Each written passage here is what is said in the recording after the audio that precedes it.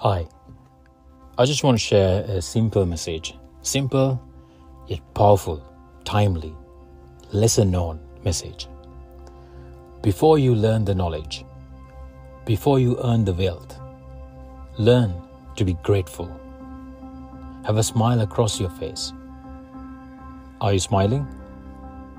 You don't need a reason to smile. Just smile. And the person next to you will smile too sooner or later. Just smile. Yes. There you go. How easy was that? We didn't need a massive breakthrough or the country to come out of its crisis or to migrate to that unknown territory to make you happy. You're smiling right here, right now. A hint of happiness is what we all can keep at any situation and not what we all need a hint of happiness. Now, determine to smile even before your fears. Smile before your adversities. Wear that smile. This smile has such power. It shows that you are superior to your problems. It tells your subconscious that you are capable of resolving them. Now I want you to say this. Utter these words. So good to be alive. Say it. So good to be alive. With a smile on your face. Now, you might have a rude driver before you. You might get unsettled. It's okay. Let it out and be upset for no more than 90 seconds. Because this little negative expression is like a little fly, can manifest into a Godzilla who can take down the city. So crush it before it goes down that road. So shrug it off. Forgive yourself for being upset and also the other person. He's not evil. He's one of us. He lost it for a moment just like we all do. Then wear that smile again and recite the above. So good to be alive. Tell yourself, it's his mindset, not mine. I'm so glad that I have the grace to listen to this podcast. Sadly, not him. So let me not emulate him.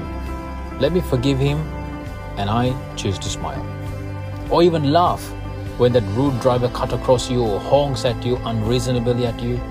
Just laugh. This is an elite mindset. If you overtake him, do not turn your head and stare. If you stare and frown, you lose. Take this as a game. Live your life as if you're playing a game. Decide to look forward and smile.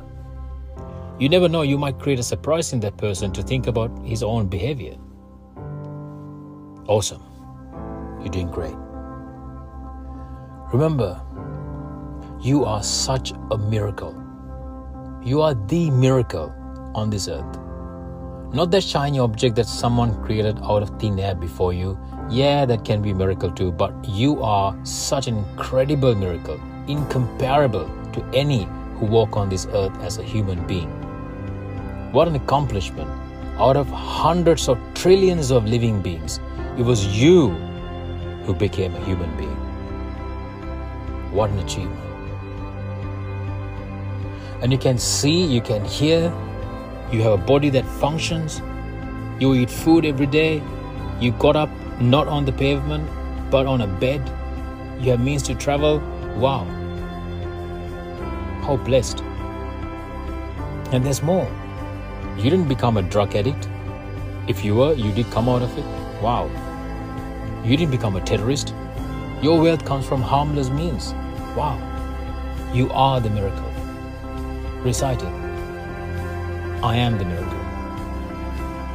I tell yourself, well done to how I conduct myself all this time and protect it. These challenges before me only can make me stronger, better, more spiritual, more insightful. So say, bring it on to them. Bring it on. Say it with a smile on your face right now. You're such a powerful force. This is your coach, one of your countrymen, who drives on the same roads as you do. This is Ramindu Randeni. I congratulate you for listening this.